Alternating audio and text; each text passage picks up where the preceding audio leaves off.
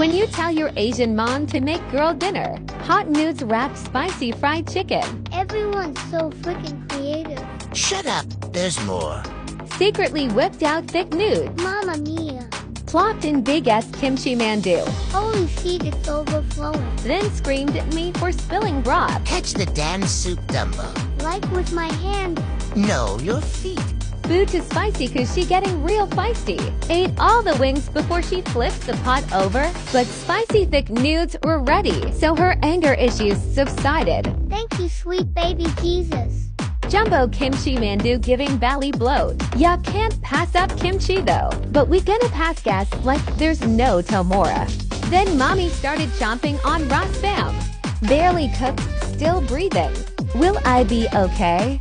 Made some sausage kebabs to eat faster. Mommy going beast mode.